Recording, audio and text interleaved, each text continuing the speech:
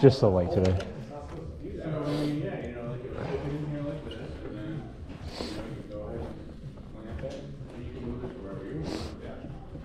And I'm like, "Oh, great. Meanwhile, what's on there is shit happening. He was using this in the past. Whenever I went to use it, it wouldn't. It would come. Was declined. That was called the customer service number and sit with them on the phone for an hour. Um, Which one is that? The freedom to ride? Yeah. The freedom to ride will only let you if it's 250 or over. is that? That's probably really. Yep. Are you serious? I, I had no idea. They never told me. I never saw it in the um, uh, the um, stuff that you get in the mail. I didn't get any of that. Just right here. Uh, yeah. you